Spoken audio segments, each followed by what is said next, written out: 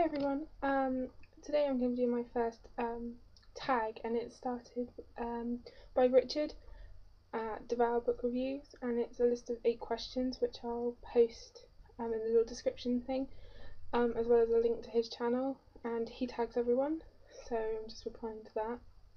Um, and the first question is what is the most interesting book on your shelf? Um, I sort of interpreted, interpreted this as like the which you find interesting, but others may like think like, why the hell have you got that on your shelf? Um, but I find it interesting. Um, and that's the Book of the Dead, and this is by E. A. Wallis Budge. And I really love Egyptology, and I have done from a very young age. And I like this book so much because it's on a good page. It has ancient Egyptian, and then translates it into English um, and it's um, ancient Egyptian um, funeral rites, prayers, spells, that sort of thing. Something I'm very, very interested in. So I, I love this book. Um, the second question is, what is the scariest book on your shelf? And I have to be really honest here and say I don't think I have a scary book um, on my shelf. I don't have one. I don't normally read scary books or ones that can be really classed as scary books. Um, so no Stephen King like books on my shelf, I'm afraid. Um, which book or books on your shelf can you not live without? Um, everyone knows me as being a book obsessive, and if my books were taken away from me, I think I would die. Um, so I couldn't live without my books at all. But if I had to narrow it down, like really narrow it down, I wouldn't be able to live without Angel by L.A. Weatherly. In the US, it's known as Angel Burn. Um, love that book. It is my favourite book. Um, Nevermore by Kelly Creagh. Um, like my second favourite book. I love that book. Um, or anything by Meg Cabot. I have all her books apart from uh, her latest one, Abandoned, because it's not here yet, so I haven't read it yet. Um, but if I had to narrow it down again to a Meg Cabot book, it would be Boy Meets Girl, which is one of her adult books, but it's my favourite. Uh, question four is how many series books do you have on your shelf? Um, loads. I think it's. Um, I tried to write this down so that I didn't have to have like a load of books on my desk. Um, it's over twenty, and that's um, books that I haven't that have like more than one in them so far. Like um, Divergent, for example, is one in a trilogy, but I haven't counted Divergent because it's only got one book out yet. So I've counted ones that have more than one um, book in them at the moment. So I have like most of LJ Smith. I have her Night World, her Vampire Diaries, her Secret Circle, her Dark Visions, her Forbidden Game. I have all of Meg Cabot's series, so Princess Diaries, Mediator, etc. Um, the Mortal Instrument series by Cassandra Clare, The Morganville Vampires by Rachel Caine, um, The Blue Bloods by Melissa De La Cruz, um,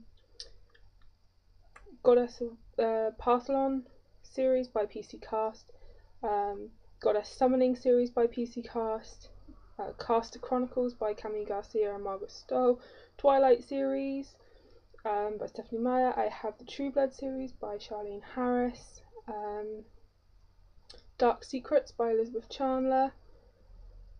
Um, oh, an adult series.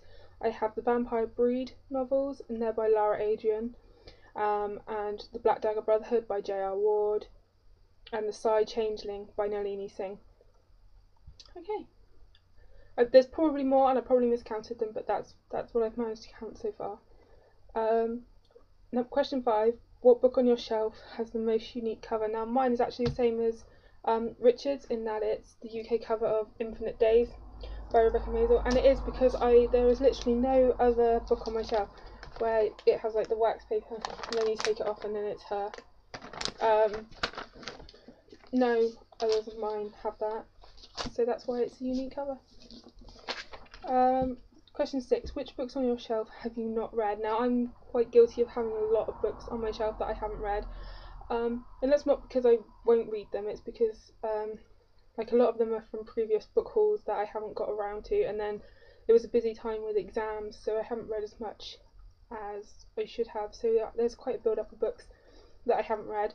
Um, so I've just got a few that I haven't read. Um, series by Melissa de la Cruz. Um, I've got 1 to 4 that I haven't read yet. Um, books 3 to 10 in the Morganville Vampires, simply because, again, they're, they're quite new and I haven't read them yet. Um, Firelight by Sophie Jordan. I got this quite a few book hauls ago, but I don't know why, I just haven't picked up and read it yet. The same with Paranormalcy, Sisters Red by Jackson Pearce, um, Torment by Lauren Kate, uh, The Cursed Ones, Demon, the Forbidden one, The Demon Traveler's Daughter. Um, yeah, so there's quite a few, as well as all of the Vampire Diaries, The Secret Circle, um, Forbidden Game, Dark Visions. Yeah, quite a bit I haven't read. I'm guilty of that. Um, question seven: Which books on your shelf did you not enjoy? Um, considering some of them I haven't read yet. Um, there's not really books that I've read that I haven't enjoyed. Um, I tend to only buy them if I think I'm going to like them, and so I do tend to like them, um, or at least enjoy them. Like you can give a book not five out of five, for example, but you still really enjoyed it. Um, but there is only one that comes to mind that I have read that I haven't enjoyed, and that is Fallen by Lauren Kate. And I didn't like it because it was slow. Um, I thought the overall storyline was good, but I found it really slow and draggy, and at the end, I just wanted it to be over. Which I don't normally do with books. I like to cherish books, and when I close them, I go, oh no, it's finished. Whereas with this one, I was like, oh, thank God I finished that. So, only the one. Um, and question eight What book on your shelf holds the most meaning? Uh, again, I was torn with this one. I was torn between two, and in the end, I just thought I'll just have two because they are both they both mean a lot to me. And the first one is Ella Enchanted by Gail Carson Levine, and I know this has a really sucky cover, um, the movie cover.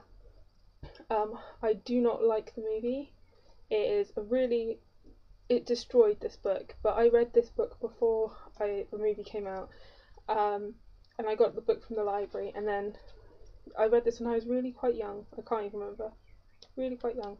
So going back a few years now, um, and I got out of the library, and we went to try and find it, um, me and my mum, and we couldn't find it anywhere, so we had to speak to the bookstore and they ordered it in specially for me.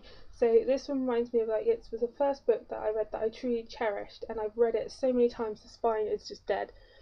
Um, and that my mum went to so much trouble to get it for me and like I've reread it so many times and it's so many different like occasions in my life.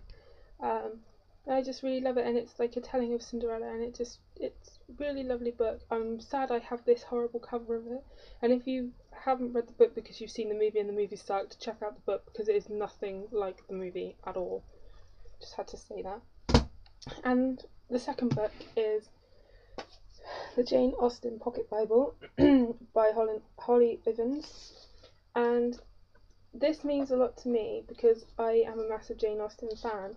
But my nan um, bought this for me, and she finds it very hard to buy books for me because uh, if there's a book I want, I normally have already bought it myself, um, and there's always books I want. So they find it, my family in general find it really hard to buy me books because one day I could say, oh, I really want this book, and the next day I bought it. But my nan put so much thought into getting me this, and to find that I didn't have it, and that it was something that I would really love, and it's full of just little quirky things about Jane Austen and her novels. Um, and it's just really sweet, and it means a lot to me that she went um, to a lot of effort to get me a book that she knew I'd love that I didn't have, and it was really quite sweet and quirky. So that's my bookshelf tag. Um, a reading.